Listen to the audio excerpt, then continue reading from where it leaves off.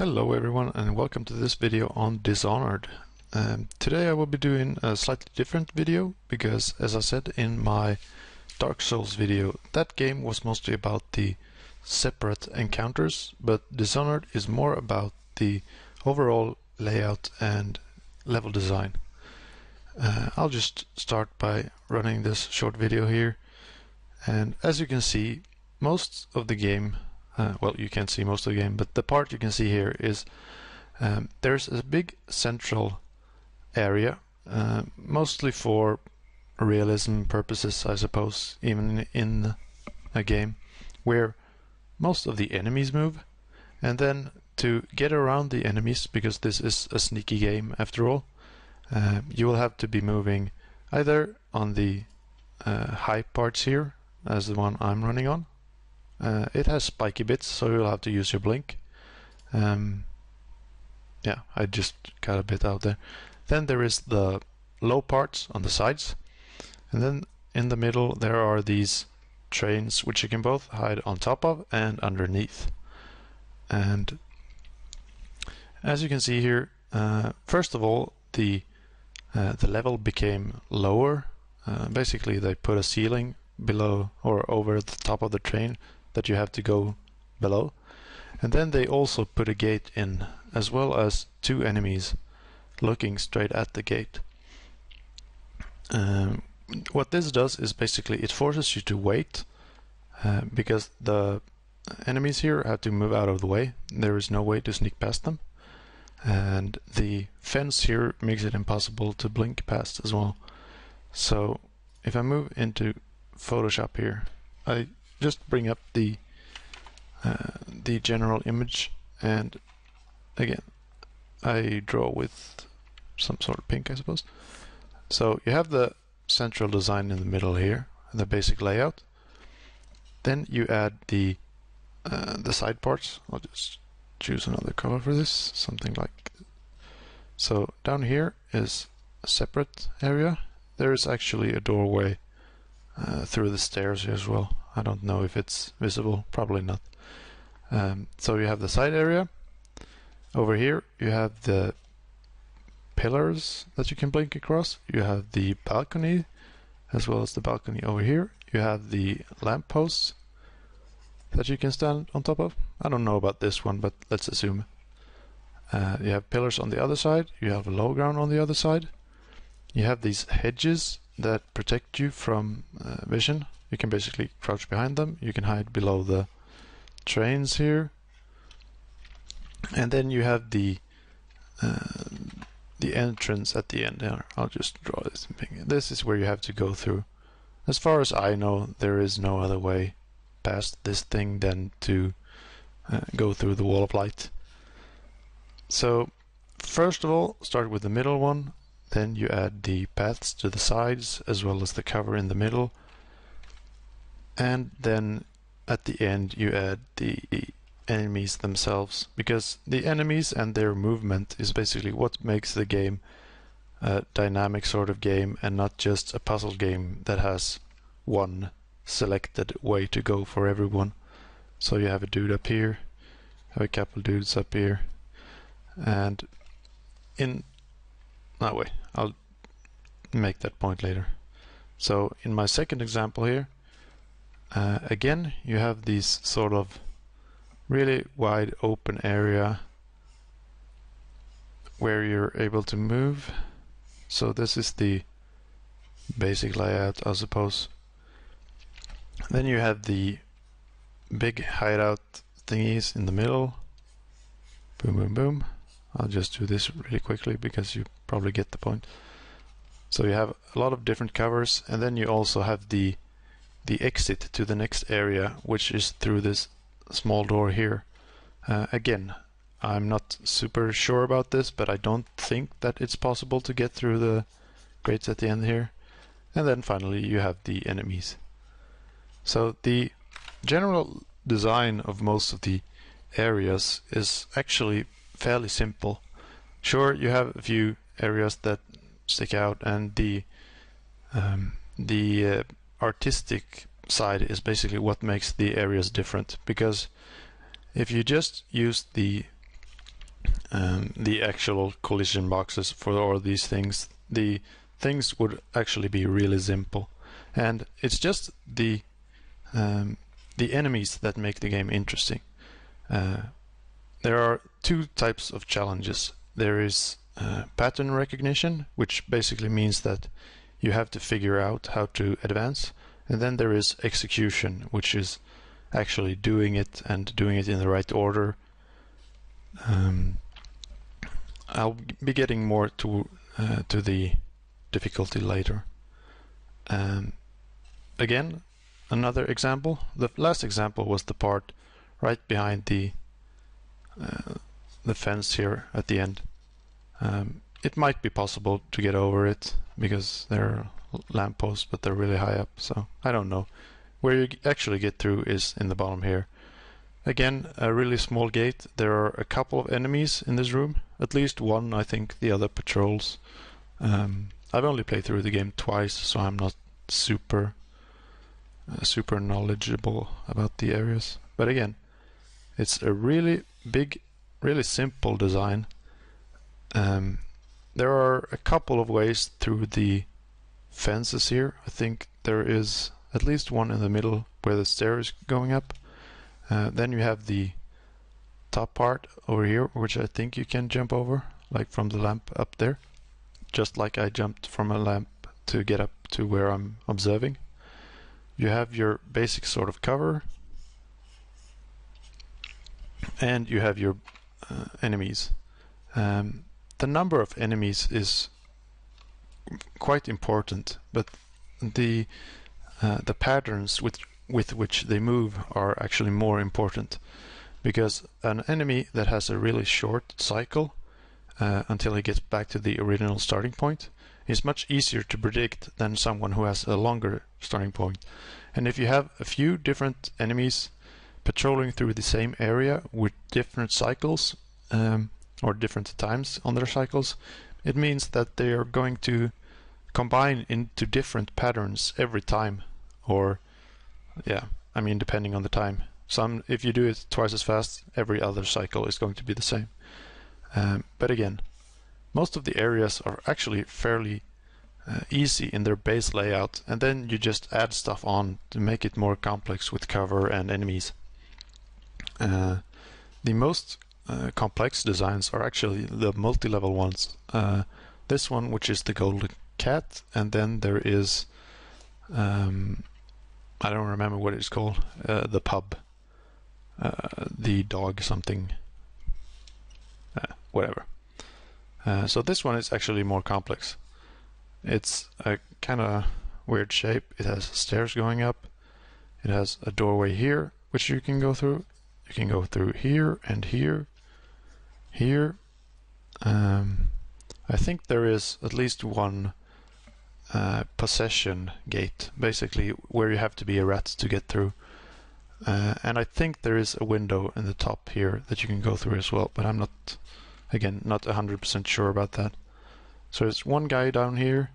I know there are a couple guys uh, below the stairs that you're supposed to run into to get a bit of uh, ambience and backstory. And there's this guy up here. Um, just inside the door, there are a couple of people talking the owner of the place and the guard or something. Uh, but again, most of the layout is actually pretty simple. Um, they get away with this because you're only ever supposed to get to this uh, once, basically. Uh, the area in the beginning here, you actually come through here quite a lot, like three times at least, maybe more. Um, yeah, so here is the gate. Um, what we have here is the two guys they are watching each other as well as the uh, the gate which you can't pass. So this is basically what Dishonored does to provide ambience, a backstory, and also a couple of hints about how to get across. Sometimes you hear people talking about, uh, like in the Golden Cat, where the two brothers are. Um, here is the thing you can interact with. Uh, but the thing with people talking to each other is that they overlap their uh, awareness um, cones or whatever you want to call them. So what this does is that it forces you to first wait for the dialogue to play out, and then you also have to learn their patterns once they start moving, because um, as far as I know, in every case, when people start moving or when they stop talking, they have different patterns. Um, I don't think there is any point in the game where two people will constantly face each other so you, you can't backstab uh, either one of them. Um, so this is what I call gating. It basically means you have to wait uh, because even if you take out the electric field you will have to wait for the enemies to move away and providing only this one area to get through the game. Like there you, can, you can't go over the rooftops. I don't know if you can possess something but maybe. Um, so what this does is that it slows the game down and it makes you sort of sneakier because you can't really speed run through the entire game. Um, if you want to when you're going to the golden cat which I'm doing here uh, you can actually just rip out the uh, the whale oil tank throw it on the ground and then just blink up and reach the door because nothing will follow you through the door anyway. Um, so yeah, here's another example. Again, basic layout like this. Um, something like this as well. Uh, you're basically forced to go down from your um, your high ground here. You can be on this roof as well. Uh, here is a roof and I'm standing on some air pipes or something up here. Uh, so what you have here is enemies and given that the uh, enemies, at least apart from the assassin enemies, they won't really follow you up to the high ground or they will never ever spawn on a rooftop for instance. Um, so all of the enemies are pretty harmless as long as you're on the high ground. So what the game does is it designs uh, things like this as well as the the gate here to force you to get down to lower levels where enemies are a bigger threat, basically. So instead of just having the find the sneakiest route um, to get to the next area, you're forced to interact with the enemies. And in the last example I have here of the general layouts, again, you have a really simple main path. You have enemies at the bottom here, and this is one of very few cases where there is actually an enemy above here he patrols, but he's standing and looking out the window here. Um, I really haven't done much experiments on how much he sees, but he's also standing in a windowed hut, so you can't blink in and just kill him. Uh, you either have to go around through the doorway here, whoops, or you have to go around the sneaky wheels on the right or on the left side. Um, yeah, but again, more complexity means that the enemies are a bigger threat to you on higher levels and you're forced to move down um, to the lower levels. Um, for my next examples here, uh, I have again, uh, this is uh, inside the golden cat. Yeah, it's called the golden cat. I just had to make a double take there. Um, again, you have like this. It's basically two people looking in opposite directions. You have patrolling guy here. You have these patrolling. Um, this girl here is mostly standing still, I think. I didn't really worry much about her. But to get around this room, which in theory can have some pretty advanced patterns, what you have is the big circular thing at the top here, which again allows you to, as long as you ignore, or not ignore, but you hide from the characters moving around, you still have a safe ground in the middle here. And the safe ground is, again, it's something that reduces complexity. Because if you're able to move down, take one enemy out, uh, hide him away somewhere, and then get back to safe ground without, uh, let's say, without this guy here um, finding you, then you're able to get back up. You can identify the new pattern, and it both, uh, or once you start solving the uh, what to do and in what order, the execution becomes easier and easier for every cycle and every body that you manage to hide, basically. So this is one way to reduce difficulty. You can still have a really advanced pattern outside, but as long as you have a high ground or a really dark place or something to hide below, um, you can cut down on really complex patterns just by allowing the player to pause between fights. Um, so this is in the pub, and this is actually one of the trickier areas in the game, in my opinion at least. Both because as long as you, or as soon as you aggro one of the guards, there is likely to be four or five that are actually running towards you. And secondly, because it has several levels, and the guards will be patrolling up and down these stairs here. And there are more levels of stairs below you, which means that the pattern becomes three-dimensional. Um, so you both have to watch out for things above you and things below you and things patrolling on the level you're on. Um, so the pattern recognition becomes harder because you also can't really see uh, more than one level up and one level down. So in a house that has four levels or five or whatever, um, the pattern becomes more difficult. Um, yeah, and then there is also the execution, because if enemies are patrolling and you can't really figure out their patrolling um, routes, you can't find good places to hide or to dump corpses or knocked out people either. So it becomes more of a race in time. Let's say you know that you have a room that only one guy goes into, and you know that you have one minute to take out three guys and put them in that room before he comes back, for instance. Then you really have to be sharp on your execution uh, because you know the pattern, you know what you're going to do, you just have to do it in the allotted time. Um, again, sure, Dishonored, it's not such a tricky game. The difficulty, if you ramp it up, it's mostly about how much damage you take.